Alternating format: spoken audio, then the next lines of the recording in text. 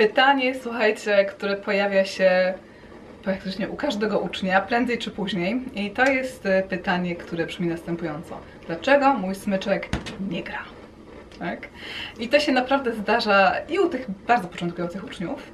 E, Zdarza się również u tych nieco bardziej zaawansowanych, którzy mówią, kurczę, co jest, tak? Co, co, jest, co jest grane? Czemu mi to nie działa tutaj? Coś mi nie, nie, nie gra po prostu, nie, nie brzmi. Może być kilka odpowiedzi i już e, spieszę Wam e, mówić, e, co to może być. Przede wszystkim może się okazać, że nie nakalafoniowaliście wystarczająco smyczka. O kalafonie będziemy jeszcze mówić. Jest to specjalna żywica, której, którą stosuje się do smarowania włosia, żeby miało dobrą przyczepność. Jeśli nie nakalafoniujemy smyczka zbyt dobrze albo niewystarczająco, no to ten smyczek będzie po prostu się ślizgał po strunach, nie będzie wydawał odpowiedniego dźwięku. E, Druga możliwość jest taka, że włosie jest e, po prostu zużyte.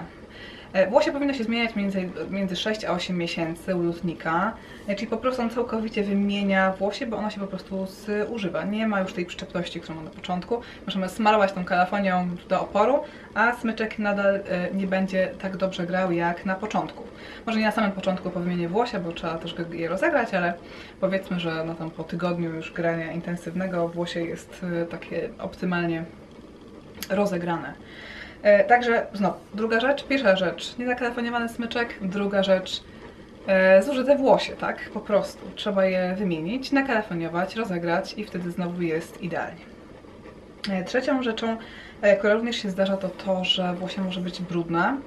E, I teraz ważna uwaga, włosia generalnie nie dotykamy w ogóle paluszkami, nie dotykamy palcami, nie dotykamy rękami, e, bo palce mają, e, no nie wiem, brud, tak, może mieć super czyste ręce, jeszcze w dzisiejszych czasach to w ogóle wszyscy po prostu dezynfekują się na, e, jak mogą, ale mimo wszystko jakieś tam e, oleje na tych rękach e, powstają i dotykając włosia palcami, możemy je po prostu zatłuścić albo pobrudzić.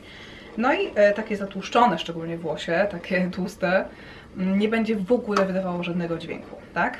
To się bardzo często zdarza tutaj przy żabce, moje też nie jest może idealnie czyste, tak? Bo tutaj trzymam palce.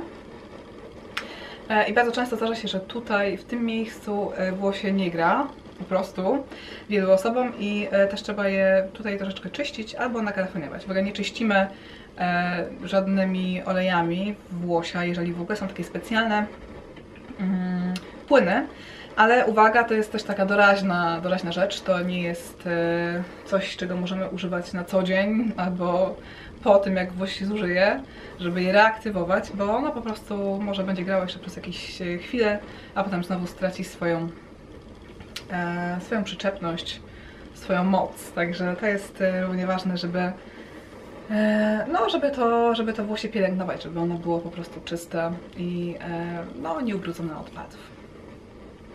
E, Trzeba też sprawdzić, czy jest odpowiednia ilość włosia. Czasami zdarza się tak, że wynajmujemy instrumenty, czyli bierzemy skrzypce i smyczek do szkoły albo od specjalnej firmy.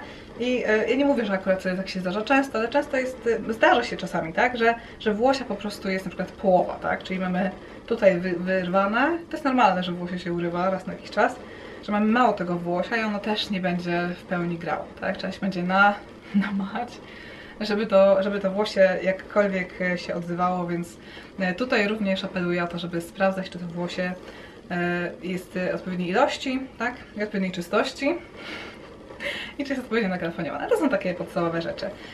Ostatnia rzecz to to, że czasami struny mogą być bardzo brudne. Tak? Brudne, nie brudne od brudu, tylko brudne od kalafonii, pokażę Wam. Mam ogóle taki przykład, wspaniały. Tutaj widać też, że, że było grane na, na gryfie, tak? I tutaj mamy taki typowy przykład brudnych strun, że jak przejedziemy palcem, no to zostaje nam biały ślad od kalafonii. I to oznacza, że te struny wymagają wyczyszczenia. E, Struny czyścimy specjalnym czyścikiem na bazie alkoholu. E, Także nie stosujemy żadnych alkoholi pitnych do tego, żeby te struny wyczyścić. Nie stosujemy także mm, perfum ani e, innych tego typu e, rzeczy. Po prostu kupujemy specjalny czyścik w sklepie. Na przykład firma Pirastra robi dużo, o, tych czyścików jest w ogóle mnóstwo. E, Ja miałam Pirastra przez bardzo długi czas i stosowałam do strun. Było świetnie. Trzeba tylko uważać, żeby nie kapnęło nam na skrzypce, bo e, alkohol rozpuszcza mm, niektóre lakiery. Także to jest dosyć, dosyć ważne, żeby nam przypadkiem nie kapnęło. I to właściwie wszystko. No jest e, kilka tych powodów, warto jest e, po prostu zbadać, czy e, któryś z nich może być akurat w naszym przypadku głównym problemem.